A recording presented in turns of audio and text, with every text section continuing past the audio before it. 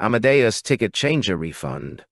Automated calculation of applicable fare, penalties, and taxes. Unfortunately, the current refund processing methods are complicated, time-consuming, and frequently frustrating for travel professionals. Additionally, manual processing is a significant risk of errors, which can result in more debit memos and potential revenue loss. Introducing Amadeus Ticket Changer Refund. Refund automates the ticket refund process, significantly cutting down the time required for calculations and easing your workload. Let's begin. In our example, the passenger did not show up for the outbound journey. In our case, the passenger was a no-show and the coupon statuses were suspended with the letter S.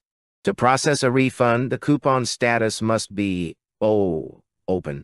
To initiate an automated refund with ATC using the e-ticket number and display the refund record, follow these steps. Use the TRF transaction to begin the refund.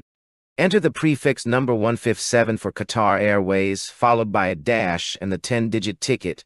Type another slash followed by the ATC refund indicator. Press Enter. The system performs an automated calculation and the cancellation penalty amount for a no-show is 65,660 Pakistani rupees. Now use the TRFT transaction to display the breakdown of taxes. Press Enter. Paid taxes. Refundable taxes. Here are the non-refundable or use taxes. Tax number 12, labeled 9, is a non-refundable tax.